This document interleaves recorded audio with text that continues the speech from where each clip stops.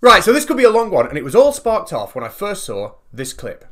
A famous astrophysicist unwittingly walks into an interview with a flat earther and rage quits within an hour. Now, that was taken from a video by our old friend Red Pill Philosophy. So, conspiracy cats. And for those of you who don't know, that's this guy here, the one with the invisible ventriloquist dummy. Now, in that video, Red Pill Philosophy was bragging that fellow flat earther Wakey Wakey had somehow managed to destroy an astrophysicist in some sort of debate. Now, obviously, nothing of the sort happened. What actually happened was the flat earther Wakey Wakey had to lie to get an interview with the world renowned astrophysicist Dr. Berdyugina, and then he proceeded to waste her time for well over an hour. I wanted to interview her, but how? I thought about it and I created an alias. David Howard from Oxford University Media Society and created some online material supporting this front. Now, I don't like lies, and I've not heard a whopper like that since Nathan Oakley decided to overinflate his IQ test score. 13 and a half. Yeah, nobody believes it's that high, Nathan. Uh, anyway, the interview that Wakey Wakey had with Dr. Berdyugina was a very, very long one, and it would have taken me maybe a two hour video to rebuke every single point he made. So, what I'm going to do is rebuke the first half of the interview in this video, and then if you in the comment section want to see the second half, I will oblige. So, this interview starts off with Wakey Wakey reminding us all about the dangers of the Dunning Kruger effect. Also, know of the Dunning Kruger effect a cognitive bias in which experts mistakenly assess their cognitive ability as greater than it is. Um, how much Dunning Kruger do you have to suffer from to not even be able to interpret the Dunning Kruger graph? Uh, wakey, wakey, a little message for you. It is the novices, not the experts on a Dunning Kruger graph, who have an overinflated sense of confidence. Let me show you. Um, take a look at my Dunning Kruger graph and see if you can spot where the flat earthers are in red compared to the experts in green.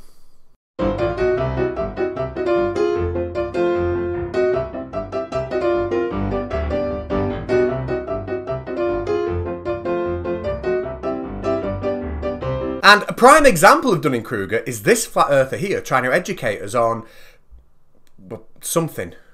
Things in motion stay in motion if not if there's no vacuum or there's no no uh, friction to, to stop them. Basically, something like that. Isn't that the third law, thermodynamics? Uh, no, it wasn't the third law of thermodynamics. What you said was actually closer to Newton's first law, except you totally screwed it up. You're pathetic. You're all pathetic. So let's start by taking a look at the first killer question offered by Wakey Wakey. But before we do that, I want to make it very, very clear that I do not believe in any way, shape, or form that I am anywhere near the same academic level as somebody like Dr. Berdyugina. However, what I also believe is that in this interview, Dr. Berdyugina was conned into thinking she'd be speaking to someone with at least some sort of scientific literacy. She didn't realise that she'd be speaking to someone that was going to try and use this video as some sort of victory dance on the internet. So rather than pick him up on every little thing, she was polite. She laughed a lot off. I won't be doing that. It is said that a spinning atmosphere has no border, there's no physical border between spinning atmosphere and the vacuum. And the atmosphere gets less pressured and becomes the vacuum of space. At what altitude would you say that the atmosphere stops spinning? Oh. So gravity they say pulls the air molecules to the Earth, yes. but there's still some atmosphere molecules higher up. Yes. At what altitude would you say these atmospheric molecules stop spinning? So Wakey Wakey starts off, unsurprisingly, by talking about the vacuum of space next to our atmosphere, and he wants an exact height where our atmosphere is lost to space. Of course, there isn't an exact height, and it depends on a lot of different factors, as Dr. Berdyugina begins to explain. Through, they escape through collisions also. They, there's the additional forces, they, they collide. So they collide with each other or yeah, with, with parts other. of the vacuum? With each other. Okay. Now, I have no idea here why Wakey Wakey is asking if these particles will collide with something inside a vacuum. The only two possibilities could be that A, he doesn't know what a vacuum is, which wouldn't surprise me, or B, he does know what a vacuum is, but he's deliberately asking dishonest questions, which wouldn't surprise me. Um, anyway, let me expand on how collisions lead to us losing gas from the atmosphere. So a good analogy to use is these pool balls here. They're going to represent the gas particles in the atmosphere. And we can see that they're all moving at different speeds. They all have different energies, but they are colliding with each other. And when these collisions happen, a singular ball or a single molecule of gas in the atmosphere will either gain energy or it will lose energy. Now, these collisions are happening at such an unbelievably high rate that we can almost assume that the energy of any one particular gas particle is, is sort of constantly changing.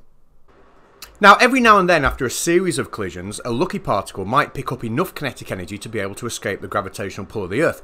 However, at lower altitudes, where the atmosphere is still quite dense, this energy is very quickly lost in another collision, meaning it's very, very difficult for particles lower down in the atmosphere to escape. However, when we get higher up in the atmosphere where the density is a lot less, let's say the exosphere, then any lucky particle that manages to gain enough kinetic energy here has a much greater chance of leaving the atmosphere. So, wakey wakey, it's really not that difficult. We have an observable pressure gradient. And when the density of the Earth gets low enough, particles then begin to have a fighting chance of escape. But there is no one finish line. Now, Dr. Berdyugina did try and explain this to you, but judging by the little photograph you put over this next clip, it seemed like you weren't listening at all. Yes, of course, it is defined by uh, density of the atmosphere, the gravity of the of the planet. But for the Earth, I have to look up. If you want me to look up, I look up. No, that's I, fine. I don't know that number. But that's okay, because the fact that he wasn't listening meant that he could go on and ask loads more silly questions. And as this video goes on, you'll see that his lack of scientific understanding rivals even this. Mass is identical to weight, but this mass, this weight is space weight. But anyway, I digress. Uh, what other misunderstandings does he have regarding our atmosphere? And the reason in mainstream astrophysics, in astrophysics, that the vacuum doesn't suck out the gas is because gravity is holding Yeah. the gas to the Earth. Yeah, exactly. Because everywhere else in science, when there's a vacuum and gas, it Yes. equilibrates. If you just take without gravity, yes, then they start to mix. Yes. Okay. Mm-hmm. Wakey wakey, vacuums do not suck. No scientist in the history of time has ever made the statement that vacuums suck. Children know that vacuums don't suck. So, in this video already, you've claimed that things can collide with parts of a vacuum and that vacuums suck. Anyway, to help you out, I've made you a little bit of a song to teach you that vacuums do not suck. It's called Vacuums Do Not Suck. The vacuum doesn't. Doesn't what? The vacuum doesn't. Doesn't what? The vacuum doesn't Go on, you can tell me. suck out the gas. Yeah! The vacuum doesn't. Oh, they don't suck. The vacuum doesn't. No, they don't suck. The vacuum doesn't Go on, finish it off. suck out the gas. Oh, teamwork. It's quite catchy. Uh, anyway, the irony continues. And you'll notice that while he was claiming vacuums suck, he was showing this clip here of a tanker being crushed by the weight of the air around it as the air is pulled down by gravity. So with that out the way, follow me for the rest of the video as we bounce from one childish misunderstanding straight onto the next. On to the next question. Uh, it is written in in astrophysics that the rotation of the Earth is due to we can't feel it because of constant velocity. Oh dear. It's that time again.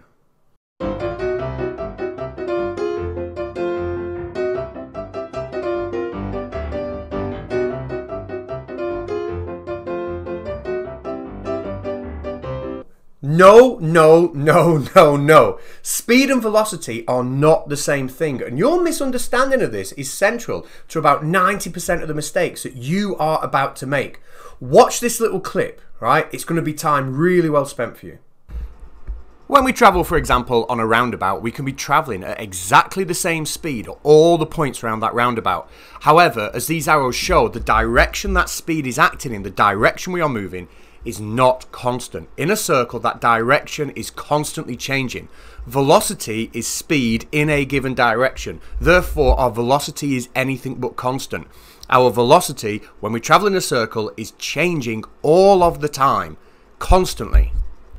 In this picture you can see here at the top of the circle, we have all of that velocity going in the left to right direction or the x component, the x direction. In the arrow that's pointing downwards, we have all of that velocity in the y direction. We have had a massive change in velocity there.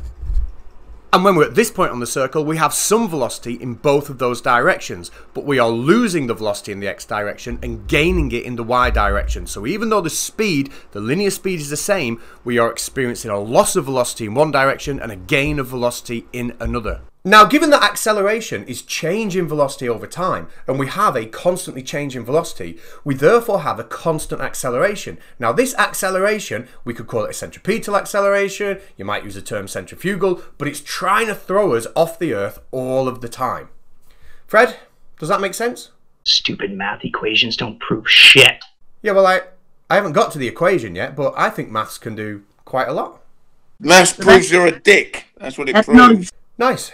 Anyway, let's take a look at that equation now, shall we?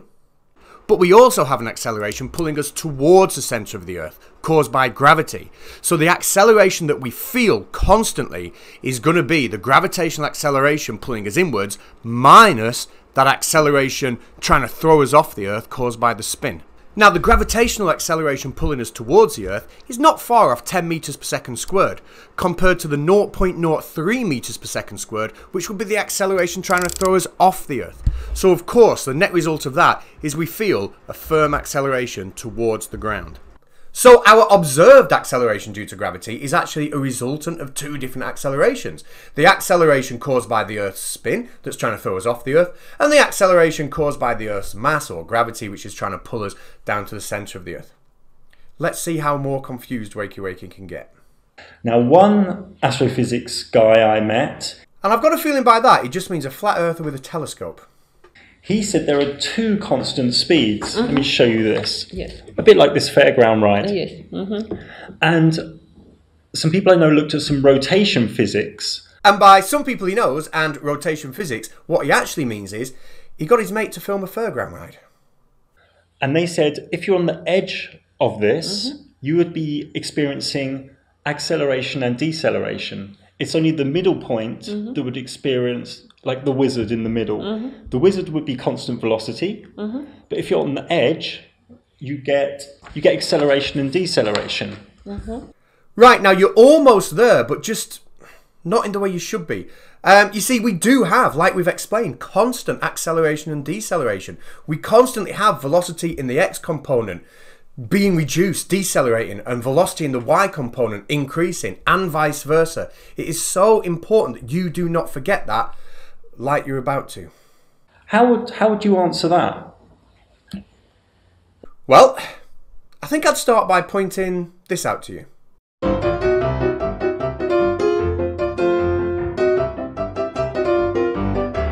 And then for the third time, I think I would try and stop you thinking in one direction only. You see, your entire problem, as you will reinforce for us in a minute, is that you are only thinking about motion in that x component. Here, you are simply thinking about acceleration at the top and deceleration at the bottom.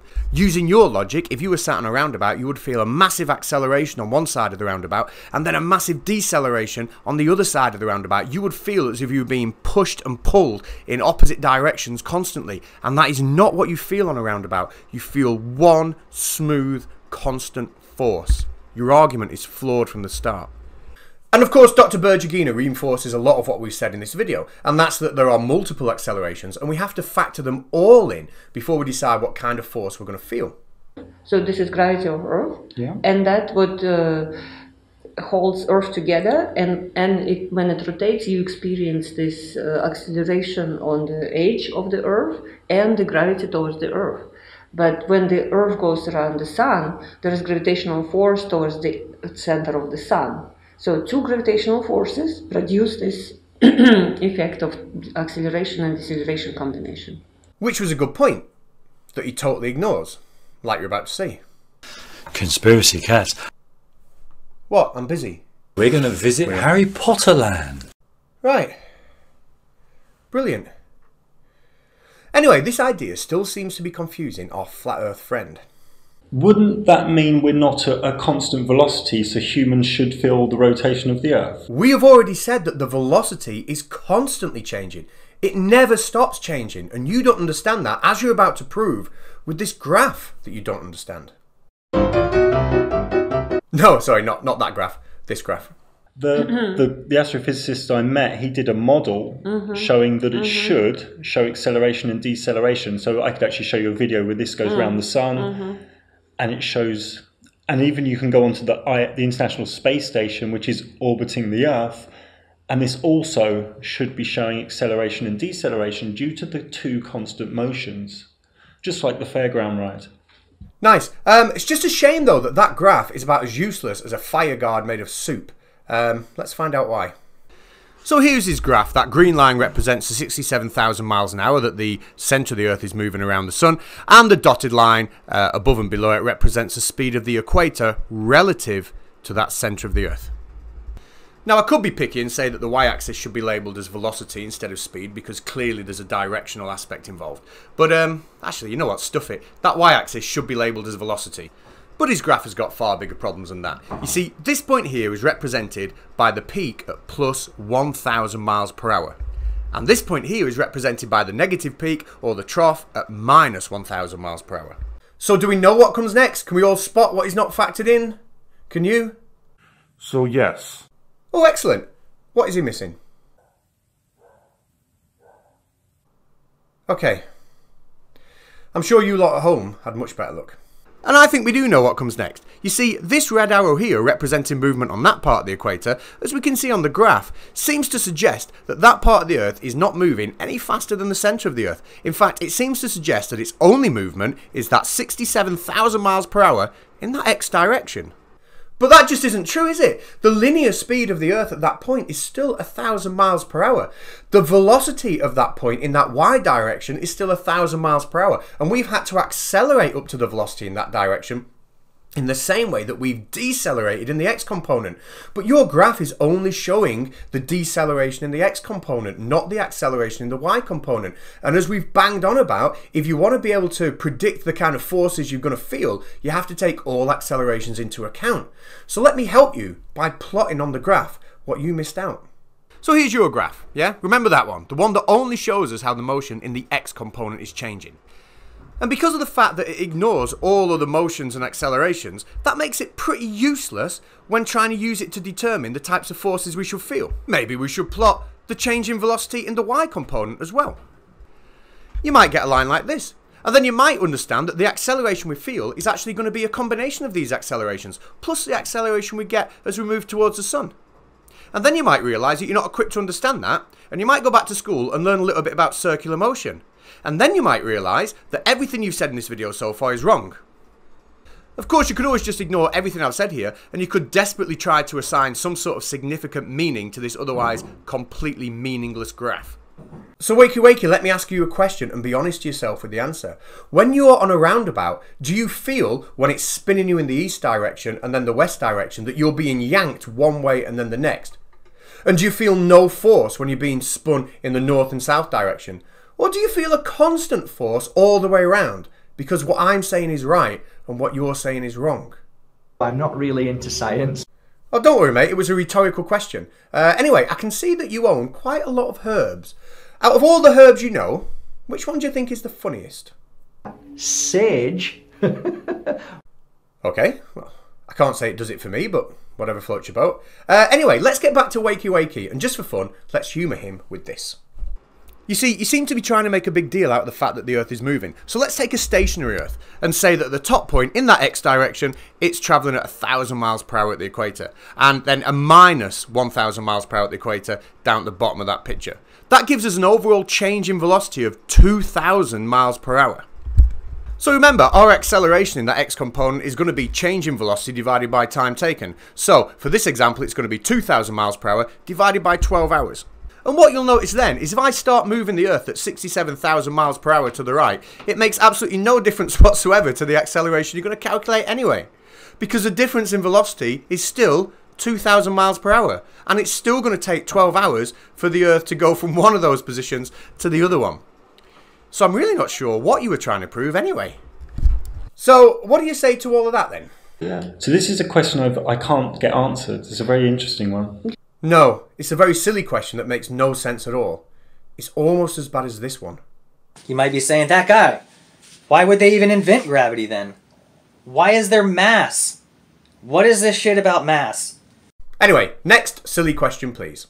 In the 1700s, mm-hmm. on the same theme, mm-hmm. uh, James Bradley did an experiment which was redone in 1871 by a G. Airy. Obviously, this is a long time ago and also the Michelson Morley experiment in 1887, mm-hmm, mm-hmm. all these detected no rotation of the Earth. Mm-hmm. It's a bit of a silly question. No, no, they what? detected no ether. Now, all of those experiments named by Wakey Wakey are genuinely real experiments, but as Dr. Berdyugina says, they were there to test for the presence of the ether. Given that the movement of the Earth was already established scientific fact, if the ether existed, we should be able to detect movement through it. However, the ether didn't exist End of story. The only people who claim that these experiments prove anything other than a lack of an ether are scientifically illiterate YouTube flat earthers. I'm a stupid flat earther, and I want to know where these mountains have gone. Exactly. Great example. So, what scientific method, instrumentation, or experiment would you say uh, proves the Earth is rotating? What would be your first, number one best proof if you were doing a lecture? that uh, do we see sunsets and sunrises, Okay. moonsets and moonrises? Yes. Exactly. There's nothing wrong with that answer. Sunsets and sunrises, brilliant. We could add to that the two celestial points. We could add to that um, boats disappearing from the bottom up over the horizon. None of those things can be explained or predicted in any way, shape, or form by any flat Earth model that's ever existed in the history of time. Still, Wakey Wakey thinks that he can debunk the sunset argument by showing us that wood isn't transparent. Brilliant. Uh, now, Wakey Wakey did ask for proof of rotation of the Earth via instrumentation. So, we've got a couple of options. Firstly, this clip is legendary by now. A 15 degree per hour drift. Of course, we all remember Flat Earther Bob Knodel telling everybody how easy it would be to measure the rotation of the Earth using a fibre optic gyroscope. And then when one of his colleagues got his hands on a fibre optic gyroscope, yeah, they easily measured the rotation of the Earth. Um, but my favourite, my favourite comes from a channel by this guy. This is Wolfie6020, and I'm going to explain here and now what experiment he recreated. But I've linked his video in the description of my video right here, and I strongly urge you click on it and go over to his channel. Maybe even say hi from me. It's a fantastic video. So, what did he do? Well, do you remember early on in the video when we said this? The acceleration you feel towards the Earth, which is what determines your weight, is going to be calculated by taking the gravitational acceleration and then subtracting from it that outward acceleration, that centrifugal acceleration caused by the spin of the Earth. Well, that allows us to make a scientific prediction because of this. You see, when we fly west at let's say 600 miles per hour, we're not actually flying west. We are just moving eastwards 600 miles per hour slower than the Earth is rotating underneath us. So that means that we're essentially rotating slower now than the Earth, which means that the outward acceleration we talked about before is much, much less. However, the pull due to gravity towards the centre of the Earth is still the same. So what does that mean? So according to this equation here, if that outward acceleration caused by the spin of the Earth is lower when we're flying west, then we should actually weigh a little bit more when we fly west. And vice versa, when we're flying east, we should weigh a little bit less. Now, this is called the Eötvös effect, and Wolfie6020's video on it, again, linked in the description, is one of my favourite videos on the internet. And I'd really love to see what Wakey Wakey's got to say about that, but I will not be holding my breath. Uh, anyway, for now, in the rest of this video, he seems to be just descending into fairy tale land. So my, man, my feet, my feet are getting bigger. I grew four shoe sizes since I've started this program. Yeah, well, perhaps he doesn't get quite that bad, but still.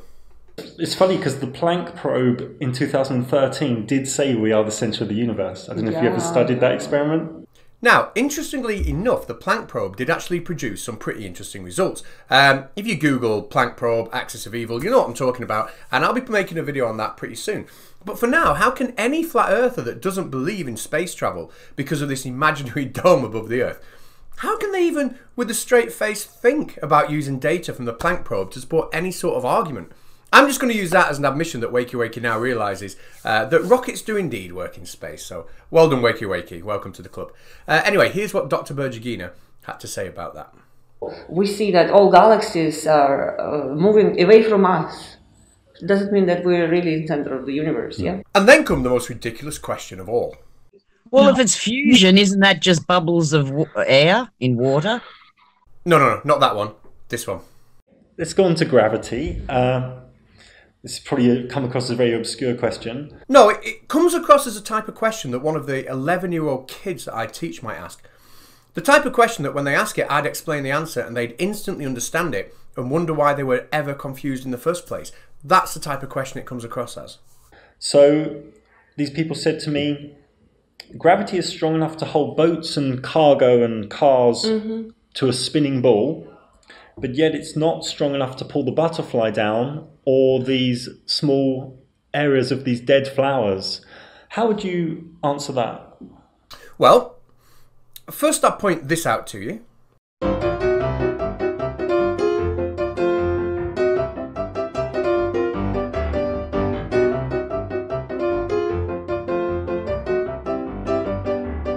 And then I'd show you this. And then I'd expect you to look at that equation and see where it says m1 and m2 and then finally understand that the force of gravity or the size of the force of gravity between two objects is dependent upon the mass of both objects.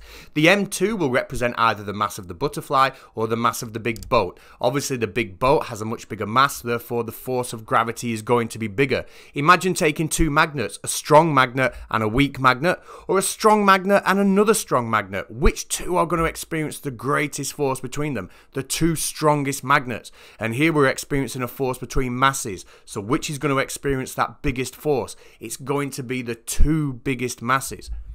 Add to that that a butterfly's also got wings and can generate its own upthrust. Oh, you know what? This is year 9 science. I give up.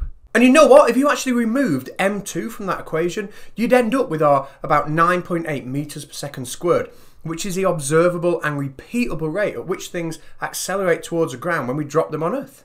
Funny that, isn't it? Could gravity be explained away with density and buoyancy? No. That would only make sense to somebody that has absolutely no clue what buoyancy and density mean. Ah. You see, we can see the equation for buoyancy here, and we can see that g is the gravitational acceleration. And what is the gravitational acceleration? Oh yeah, it's what you get when you remove m2 from this equation because the gravitational constant times the mass of the Earth divided by the radius of the Earth squared gives us our gravitational acceleration of 9.81 meters per second squared.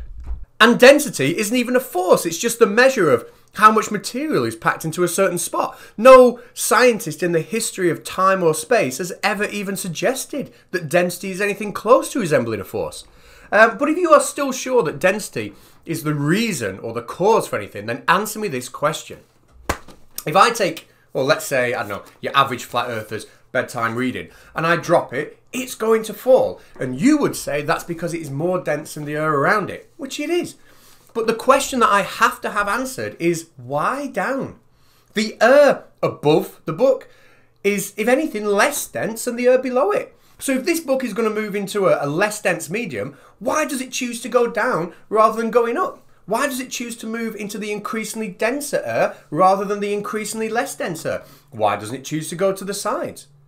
Now, the answer... There is no gravity. There's just up and down. Yeah, that answer. That answer will not do, Wakey Wakey, because it's absolute tosh. I want to know if density and buoyancy are all we need, why this chooses to fall downwards.